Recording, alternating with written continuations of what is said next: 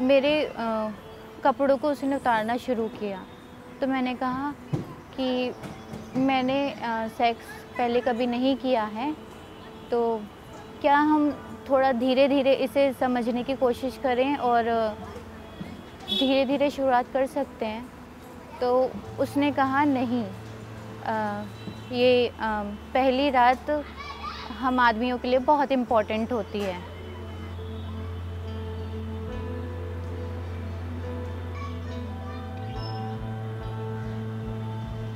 कभी उसने मुझे नहीं बोला कि, ठीक है, अगर तू नहीं चाहती है तो मैं नहीं करूँगा। ऐसा कभी मेरे साथ नहीं हुआ है।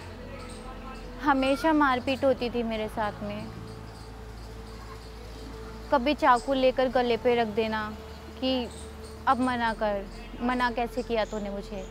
तू मेरी बीवी है, मेरा हक है तुझ पे पूरा।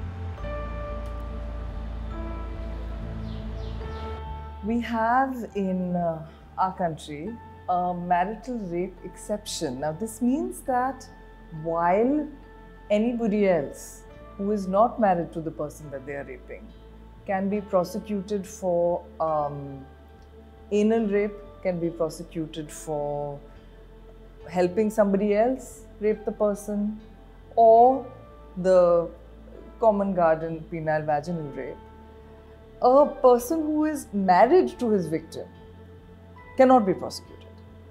Now, this is something um, that was true also of England, it was true of the United States, it was true of Nepal, it was true of Pakistan, it was true of the Philippines, and all of these have been struck down starting from approximately 1991.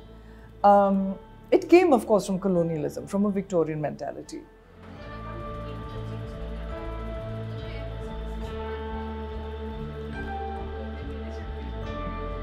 The moment we name it label it and you know उससे laws attach कर देते हैं people start recognising it उसके अंदर awareness बढ़ती है, लोग जानते हैं।